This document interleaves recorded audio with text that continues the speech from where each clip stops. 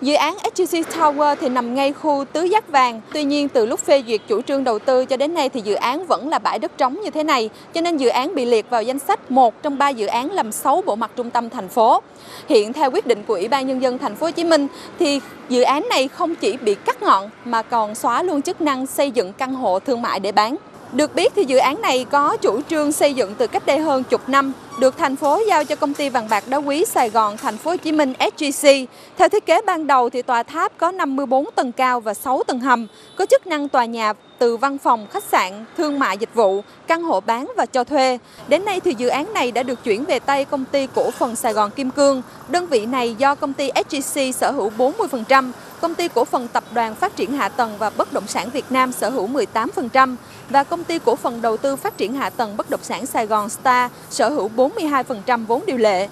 Năm 2015 thì thành phố đã có quyết định thanh tra dự án về việc làm rõ nguyên nhân vì sao dự án chậm triển khai và trách nhiệm của các đơn vị liên quan để trình Chủ tịch Ủy ban nhân dân thành phố Hồ Chí Minh xem xét và xử lý.